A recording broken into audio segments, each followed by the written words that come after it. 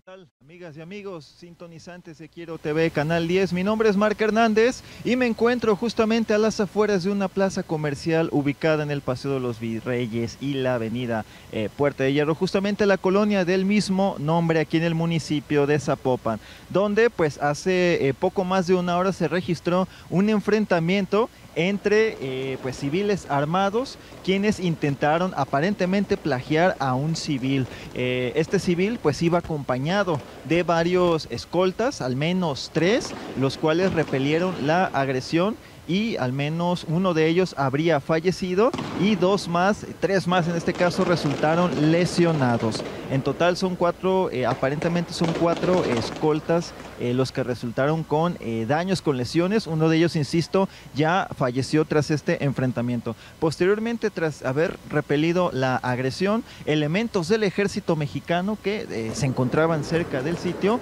entraron, entraron a apoyar en las labores de seguridad y también se incorporaron a este enfrentamiento, repeliendo la agresión y provocando la huida de los agresores, quienes justamente por quienes eh, pues hubo un, se, implementó un operativo de búsqueda entre elementos, insisto, del ejército mexicano, también de la Guardia Nacional, de la Policía del Estado y también de la policía de aquí del municipio de Zapopan, quienes justamente inmediatamente acudieron al sitio y eh, lo que podemos observar pues es una alta cantidad de casquillos, incluso de alto calibre. También, eh, pues al menos eh, había eh, también un fusil de asalto eh, aparentemente perteneciente a uno de los integrantes de las Fuerzas Armadas, el cual pues se encontraba tirado en una de las banquetas posterior a estos edificios, insisto, en esta zona conocida como Puerta de Hierro. Esta es la colonia de este municipio de Zapopan. Podemos observar también todavía más presencia de la comisaría, también del municipio de Guadalajara, quienes se encuentran aquí en el punto como parte de estos convenios de seguridad implementados. Aquí esperamos justamente a que el fiscal de Jalisco, eh, Luis Joaquín Méndez, acuda y nos brinde mayor información, eh, porque lo anterior que les mencionaba pues es de forma preliminar, aunque se podría decir que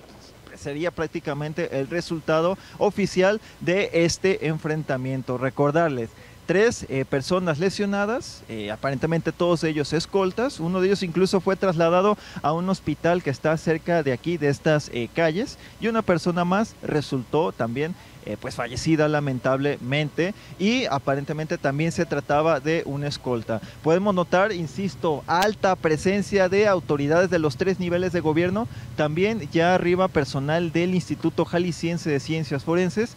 pues a recoger el cadáver de la persona fallecida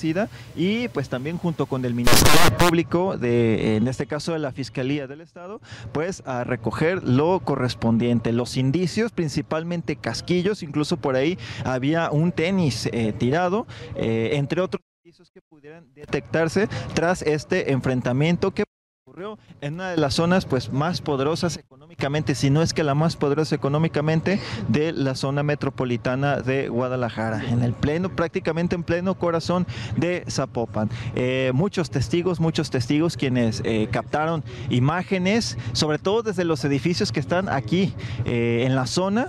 captaron videos del, momento de las detonaciones y se pudo observar pues cómo, cómo se, se registraba este enfrentamiento. pues hasta el momento esta es la información que ha surgido, insisto, estamos a la espera de que el fiscal de Jalisco, Luis Joaquín Méndez, eh, pues que ya se encuentra en el sitio, hay que aclarar, pues acuda aquí a brindar entrevista con mayor información a este respecto. Esta es la información que les tengo para todos nuestros, eh, pues quienes nos sintonizan desde por parte de Canal 10. La información aquí desde el punto.